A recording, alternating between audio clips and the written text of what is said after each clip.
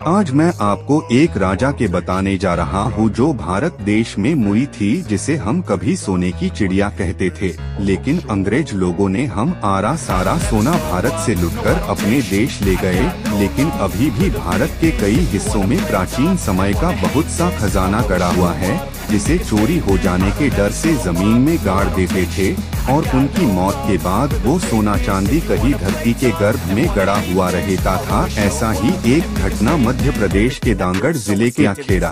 गाँव में हो रही है, जहाँ के एक आदमी को एक आत्मा ने बताया कि इस चांदी गड़ा हुआ है तो उसने अपनी सरकार को बताया कि एक राजा की आत्मा ने मुझको बताया कि ज़मीन में गड़ा दस हज़ार टन सोने का रहस्य उसने मुझे बताया, जो आज के सोने के रेट के हिसाब से इसकी कीमत तो 200 अरब रुपए के लगभग होगी। कौन थे राजा? राम बख्श कहाँ से आया है? यह सोना कैसे मौत हुई? राजा की आइए इन सारे पहलुओं पर प्रकाश डाले के लिए इतिहासकार चंद्रकांत तिवारी के अनुसार क्रांतिकारी शूरवीर राजा ने सन एक हज़ार आठ सौ की क्रांति के दौरान अंग्रेज़ों को जला दिया था वह कौन थे और कब से वह इस किले में रह रहे थे, ये मालूम नहीं था यहाँ के इतिहासकारों की माने तो 4 जून अठारह सौ छप्पन की क्रांति में दिलेश्वर मंदिर में